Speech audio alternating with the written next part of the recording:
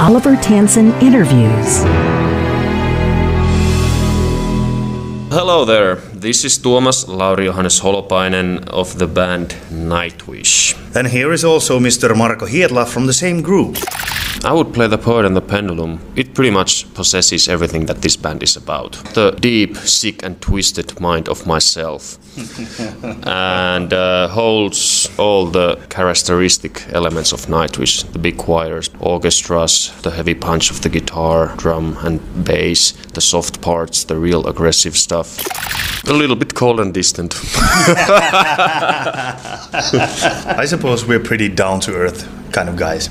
Well, for me, I struggled a long time already before getting into the band and getting to this level of success. So you get time to get used to it and still, like, basically remain yourself.